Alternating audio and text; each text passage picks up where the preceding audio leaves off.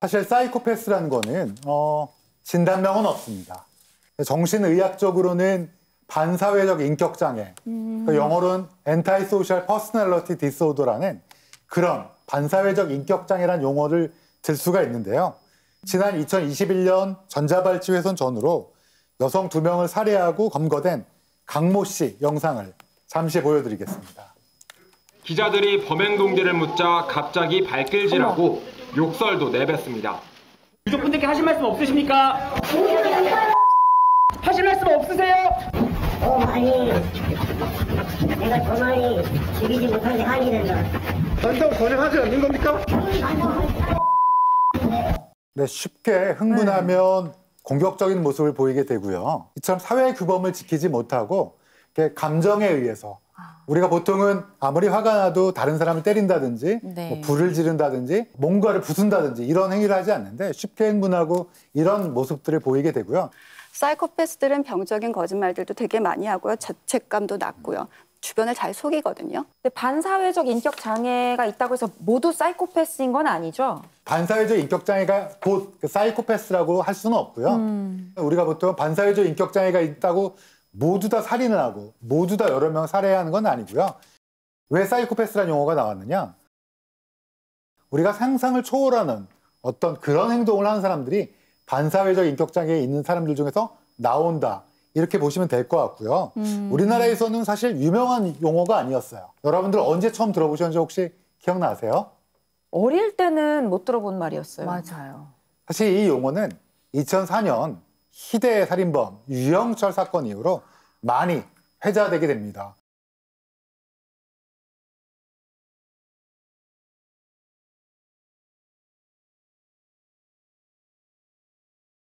유영철 사건이 있고 난 후에 강호순, 조두순, 이영학, 이춘재, 이은혜까지 이런 어, 반사회적 인격장애 중에서 상당히 끔찍한 일을 저지르는 사이코패스가 이제 일반인들에게 많이 각인되게 된 거죠. 혹시 뭐 검사나 이런 걸로 이런 거를 판명할 수 있나요?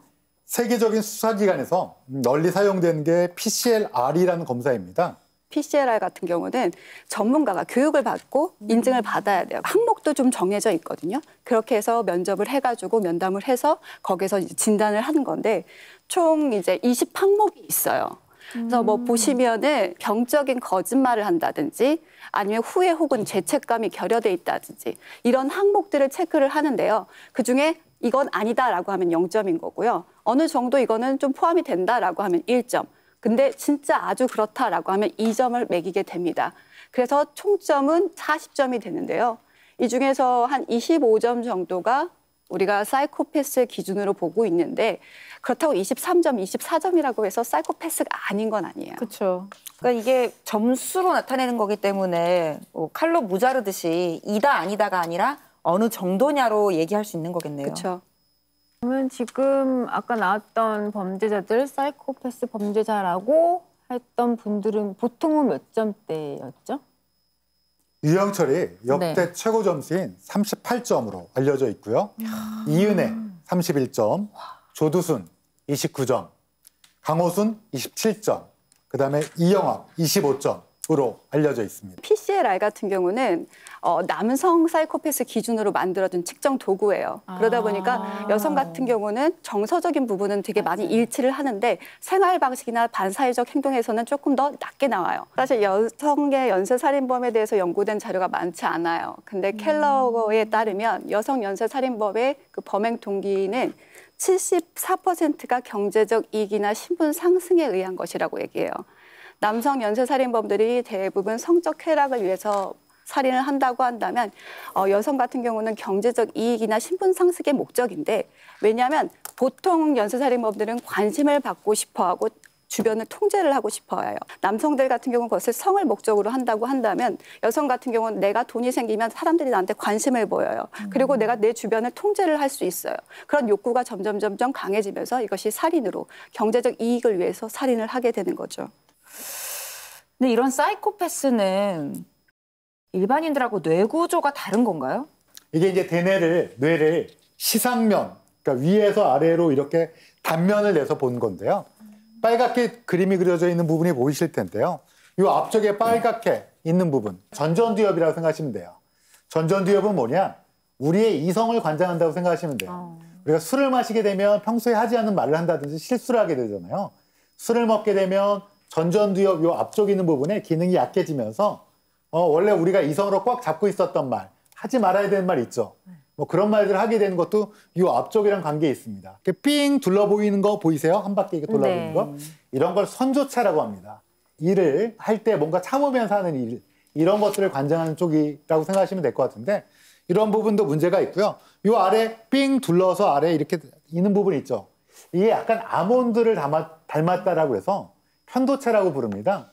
이성과 관련된 거. 그러니까 내가 평소에는 이성을 가지고 뭔가 엉둘러야 되는 그 부분과 쭉 이렇게 돌아가는 부분들은 내가 좀 재미를 위해서 도파민이라고 하죠. 이런 뭔가 흥분을 느낄 때 이런 거와 관련된 거. 사이코패스에서 이게 조금 정상이라고 부르- 부르는 분들 보통 비사이코패스와 기능이 완전히 다르든지 뭐 크기가 크다든지 이런 논문들이 많이 발표되어 왔습니다. 결론적으로는 뇌 구조가 정상인과 좀 다르다라는 거는 어, 논문으로서 많이 발표되고 있다고 본 게 맞습니다. 예상했던 것보다 사이코패스의 뇌구조가 일반인의 뇌구조랑 많이 다른데 그럼 문제는 유전적으로 혹은 선천적으로 이런 뇌구조를 갖고 태어났으면 무조건 사이코패스가 되고 범죄자가 되는 건가요? 이런 뇌 구조가 있다라고 하더라도 어떻습니까? 어, 제대로 된 양육 환경이라든지 본인이 어떤 좋은 사회 환경에 놓여져 있을 때는 뇌과학자도 될 수 있는 거고요. 훌륭한 사람이 될 수 있는 겁니다. 어, 그리고 이런 뇌 구조가 아니라고 하더라도 네. 본인이 실제로 범죄가 저지르고 뭐 이러면서 뇌 구조가 바뀔 수도 있습니다. 이런 거를 뇌 가소성이라고 그러는데요. 가소라는 건 플라스틱이란 성질이 있다라는 거예요. 뇌도 태어날 때부터 결정되는 게 아니고요. 우리가 느- 마음을 어떻게 쓰고 생각을 어떻게 하느냐에 따라 뇌 형태적 구조도 바뀝니다. 음. 정리하자면 이런 뇌 구조가 있다고 하더라도 다 사이코패스가 되는 건 절대 아니고요. 음. 뭔가 사회적 환경이라든지 양육 환경이라든지 이거에 있을 때 그 중에 일부가 사이코패스가 되는 거고요. FBI에서 연쇄살인범들의 어린 시절, 어린 시절뿐만 아니라 심층 면담을 해서 공통된 게 두 가지가 있었어요. 하나가 어린 시절의 학대, 그리고 또래 집단에서의 고립이었거든요. 이런 부분들은 사실 살아오면서 자신이 어떤 사회 환경에서 저, 그 적응하기 위한 것들 중에 굉장히 큰 부분이거든요. 그래서 배척을 당했을 때 공격성이 표출이 되는데 이것이 극단적으로 표출이 되면 살인이 될 수 있다는 거죠. 한게 사이코패스라는 개념이 나왔을 때 많은 연구들이 있었어요. 현재 추세는 이런 생물학적인 유전적 요인 플러스 사회 현상적으로 나, 내가 겪었던 환경까지 복합적으로 고려가 돼서 이것이 전 인격적인 병리 현상으로 봐야 된다라는 게 지배적이에요. 유전적인 영향도 있을 수 있다라는 거죠. 제임스 펠런 박사가 실제로 자기의 그 뇌 사진을 봤더니 사이코패스의 뇌와 동일했어요.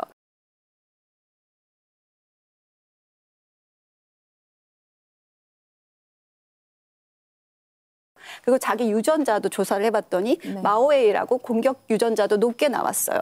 그리고 자신의 가계도를 봤더니 자신의 가계도에 살인범이 굉장히 많았어요. 있어요. 네. 그래서 아 그럼 나는 사이코패스의 기질을 갖고 태어난 사람이 맞구나. 그래서 주변인들한테도 물어보니까 너 무감각해 맞아 너 좀 무신경한 데가 있어 라는 얘기들을 듣게 돼요. 근데 제임스 펠런 박사가 이런 말을 합니다. 하지만 난 범죄를 저지르지 않았다. 난 사이코패스가 아니다. 사이코패스는 장전된 총과 같다. 발사되지 않았다. 이 장전된 총을 발사되지 않게 지키는 것이 중요하다라는 얘기를 합니다. 그래서 사이코패스의 개념에 대해서 그렇게 생각하셨으면 좋겠어요. 굉장히 조심하셔야 돼요. 유전적 또 뇌 구조 이게 사이코패스를 결정하는 건 아니다. 아니죠. 그러니까 monoamine oxidase A 뭐 이런 특정 유전자가 있습니다. 의심하는 유전자도 있긴 한데요. 근데 그 유전자를 갖고 있었다 있다고 모두 다 그렇다. 절대 그런 거라고 생각하시면 안 되고요. 복합적으로 사회 현상, 양육 환경도 고려해야 된다는 걸 분명히 말씀드릴 수 있습니다. 네. 다만 사이코패스에서 많이 보이는 뇌 구조는 연구되고 있다라는 네. 정도 알아두시면 좋을 것 같습니다. 네.